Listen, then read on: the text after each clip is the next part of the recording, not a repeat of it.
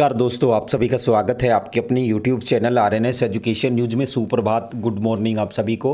आप कैसे हैं कमेंट करके ज़रूर बताएँ। तो दोस्तों, इस वीडियो में बात करने वाले हैं चिकित्सा विभाग। देर रात को भी वीडियो अपलोड की थी और अब फिर से नई जानकारी लेकर के आया हूँ। तो दोस्तों, प्रक्रियाधीन जो भर्तियाँ हैं डीपीसी हैं, उनको अगस्त तक पूरा करने के निर्देश एसीएस मैडम ने दिए हैं। अब इसके अलावा एक सौ बहत्तर दंत चिकित्सकों की भर्ती भी की जाएगी। पूरा अपडेट क्या है बता देते हैं। और क्या अगस्त तक ये भर्तियाँ पूरी हो सकती हैं? मेरा अपना व्यू क्या है इस बारे में? मतलब मेरे विचार क्या हैं वो भी बताने वाला सबसे पहले तो खबरें आप साथियों देखिए। जैसा कि मैंने कल रात को भी वीडियो डाला था, देर रात को भी तो उसमें बताया था कि कल के अखबार में सारी खबरें आ जाएँगी। तो ये यहाँ पर आप लोग देखें। एक सौ बेहतर दंत चिकित्सकों की जल्द होगी भर्ती। ये यहाँ पर अपडेट है दंत चिकित्सक के भर्ती के लिए। प्रदेश में जल्द ही एक दंत चिकित्सकों की भर्ती होगी। इसके लिए आरयूएचएस को अभ्यर्थना भिजवाई गई है। आर यू एच एस यानी कि राजस्थान हेल्थ यूनिवर्सिटी जो है, जयपुर, उसके द्वारा ये भर्ती कराई जाएगी दंत चिकित्सक की एक सौ बहत्तर पदों पर। चिकित्सा विभाग की A C S Subra Singh ने गुरुवार को विभाग की समीक्षा बैठक के दौरान ये जानकारी दी और उन्होंने ये भी बताया है, उन्होंने इससे मतलब क्या है, जो ए सी एस मैडम है, उन्होंने बताया कि अराजपत्रित सॉरी संवर्ग की भर्तियों को भी अगस्त माह के अंत तक पूर्ण किया जाए। ये आप लोग देखें। ये भी आप लोग देख सकते हैं। अराजपत्रिक संवर्ग में आपके नर्सिंग और पैरामेडिकल आते हैं, ठीक है? और वर्तमान में भर्तियाँ भी यही चल रही हैं। तो ये आप लोग समझ सकते हैं। पाँच जो भर्तियाँ हैं, प्रक्रियाधीन अराजपत्रित संवर्ग की आती हैं।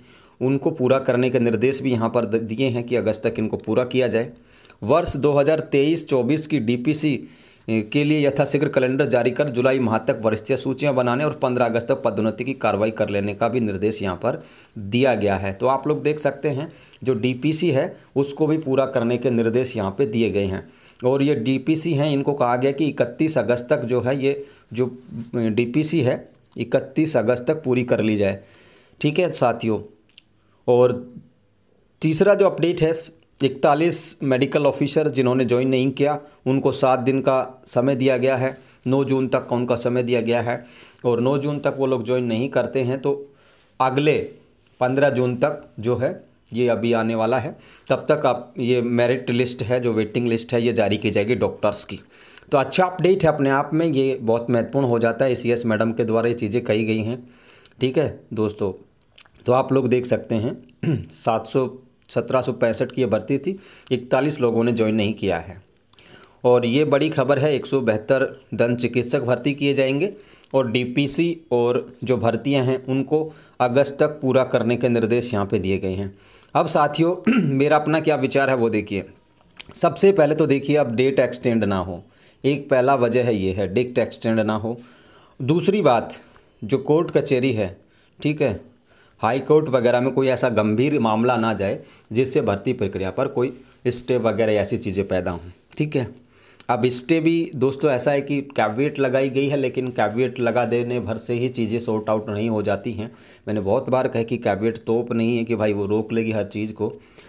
सबसे पहले है कि ये जो आवेदन की जो प्रक्रिया है, विशेषकर मैं बात करूँ एन और फार्मा की और एएनएम की, ठीक है? ठीक है? इन तीनों की आवेदन प्रक्रिया इसी महीने में पूरी हो जाए। क्या कौन कौन सी? फॉर्म भरने की भी एडिट की भी।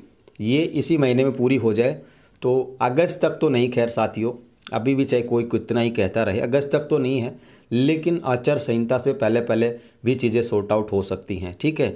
क्योंकि अगर इसी महीने में ये सारी चीज़ें होती हैं तो फिर वेरिफिकेशन में भी टाइम लगना है। वेरिफिकेशन के बाद प्रोविजनल सूची भी होती है फाइनल सूची भी होती है पोस्टिंग ऑर्डर भी होते हैं तो ये समय थोड़ा सा लगने वाला है। मेरा अपना व्यू है और इसमें कोई किंतु परंतु कहने में नहीं है।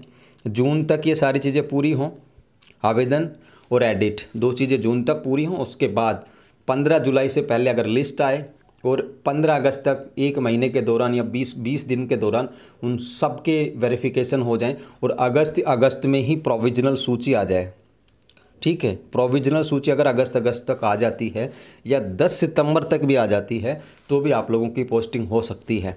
लेकिन ये दो ढाई महीने में जो काम है, जून, जो मतलब इसमें तो वेरिफिकेशन हो गया, जुलाई और अगस्त वो साठ दिन बहुत महत्वपूर्ण होंगे।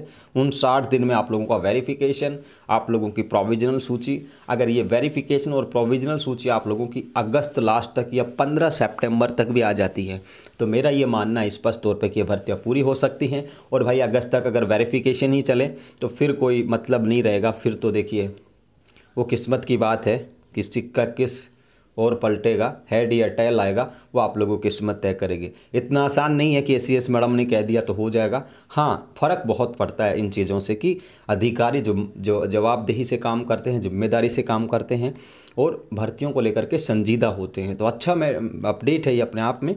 हालाँकि पूरी होना नहीं होना, फिर कह रहा हूँ वक्त बताएगा इतनी सारी चीज़ें करनी अभी इनको। धन्यवाद, जय हिंद, जय भारत।